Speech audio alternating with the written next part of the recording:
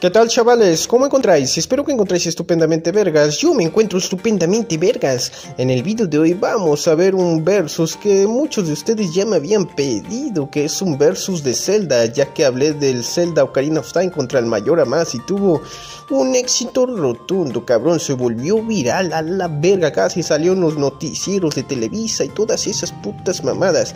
Pues hoy también les traigo un puto versus bien chingón de Zelda, pero aquí tenemos el Zelda de Wind Waker. A la verga, este puto juego que sí, no mames, nos dejó flipados la primera vez que lo vimos y disfrutamos. Y va a combatir contra el Zelda Twilight Princess. A la verga, dos juegazos de GameCube que también salieron para otras putas plataformas. Así que les deseamos suerte a estos dos. Vamos a ver siete putos rounds. ¿no?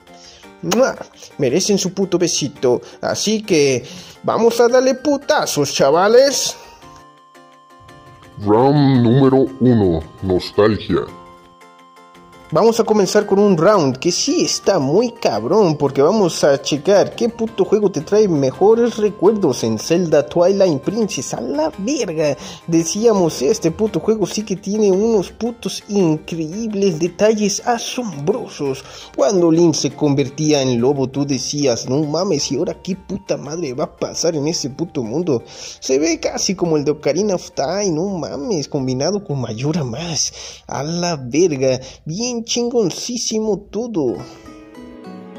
Para The Wind Waker también es un juego que recordamos muy bien, ya que nos hizo pasar horas y horas en el puto mar viajando para ver a esa cabrona de nuestra hermanita, o no sé qué puta verga, pero a la riata.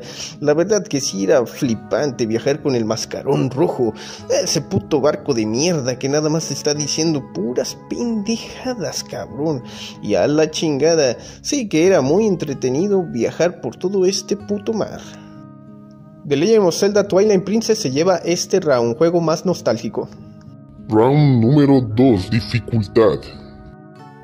Todos los críos que veníamos de los juegos de Zelda Ocarina of Time y Zelda Mayoras más, pues ya no sabíamos qué pedo con este puto juego, ya que era muy parecido. No se nos complicaba para nada los putos templos, era todo bien chingón, igual que los anteriores videojuegos.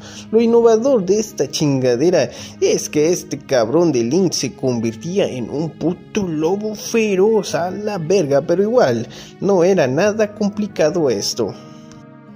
En cambio, en The Wind Waker, no mames, se nos complicó demasiado. ¿Y por qué se nos complicó este juego? ¿Qué pedo? Pues a veces el cabrón puto barco del mascarón rojo no te explicaba muy bien las cosas. E ir por ahí por el puto mar también, no mames, con esa pendejada del viento y toda la mamada, encontrar los tesoros en el mar. Eso sí era difícil y complicado. Tú decías, ¿qué pedo, cabrón? No sé para dónde verga ir. En ese round de Wind Waker gana por ser un juego más difícil. Round número 3, música. Las putas melodías de Twilight Princess pues eran un poco oscuras, pero sí que las traemos en nuestro corazoncito. ¿Qué decir cuando escuchábamos la canción principal de Midna? O cuando veíamos por primera vez en este puto videojuego a la princesa Zelda. O cuando aparecían estos cabrones de la puta oscuridad. Y también, no mames, cuando nos enfrentábamos a Ganondorf. Era una pasada de verga esta chingadera. ¿Y qué decir en The Wind Waker? A la verga, esas putas melodías, especialmente mi favorita que es la de Dragon Rules Island. A la verga, esta puta chingadera sí que me hizo quedarme flipado por algunos días escuchándola todo el puto día que llegaba a esta pendejada. O también cuando llegabas con los putos piratas. Era un puto juego que traía también una música bastante impactante. Así que este round se lo voy a dar a The Wind Waker también. Round número 4, historia. La historia principal de Twilight Princess es de que Midna, esta cabrona, hace que Link lo obedezca en todo lo que se le pega la gana. para que lleguen juntos con la princesa Zelda que le informa que San, el rey de los Twinning, a la que pertenecen las criaturas de las sombras, ha invadido el castillo de Hyrule y sus habitantes se han transformado en espíritus. Así que Link debe de salvar a todos estos cabrones de este puto mundo de sombras. En cambio, en The Wind Waker la historia comienza cuando Link está con su abuelita y su hermanita viviendo en paz. Entonces unos cabrones hijos de la chingada secuestran a su hermanita y este cabrón se va con este puto barco llamado Mascarón Rojo y así comienza la puta historia para vencer de nuevo a Ganondorf. Maldita sea lo mismo que todos los putos juegos a la verga. Todos son una puta copia de otros o qué pedo. Por innovar con las sombras le vamos a dar este round a Twilight Princess. Round número 5. Gráficos. En Twilight Princess vemos unos putos detalles en todas las putas animaciones increíbles. El puto Link no se veía como un chamaco pendejo, se veía como un puto macho alfa bien guapo y chingón, al igual que todos los putos personajes. Solo vean en las tetas esa puta caina de mierda. También Midna se veía increíble. Y qué decir del puto mundo de las sombras o cuando Link se convertía en lobo era realmente flipante. En The Wind Waker sí que se pasaron de riata los de Nintendo porque nos trajeron esta mamada de gráficos, cabrón. Veníamos de links más chingones que se veían bien riatudos y nos salen con este puto link caricatura. Me lleva la verga, cabrón. Ya tengo la riata bien peluda. Quiero ver un puto link como hombre. Ya no tengo tres putos años, cabrón. En serio que los de Nintendo sí que la cagaron y a muchos chavales no les gustó esto. Obviamente este round también es para Twilight Princess.